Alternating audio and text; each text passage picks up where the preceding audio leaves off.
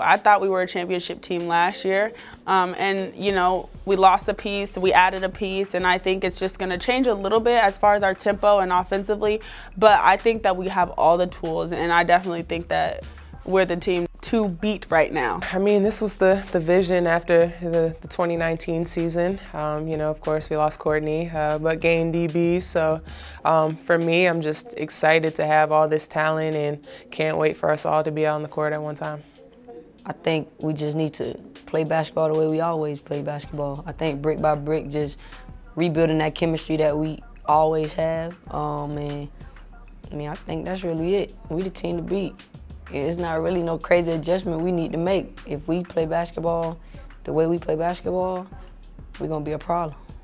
We felt like we are a championship caliber team for a while now, and we understand that we have those pieces, um, but we just haven't been able to kind of close it out. We were there in 2019. They were there in the in the semis, um, in the bubble when I didn't play. We were then, you know, again last year in the semis. So we've been on the cusp of, of being successful, but um, we just have to get over that hump, and, and we're right there. The Connecticut Sun's home opener is Saturday, May 14th at 7 p.m. You can watch on NESN Plus. PNC Bank helping to make banking easier.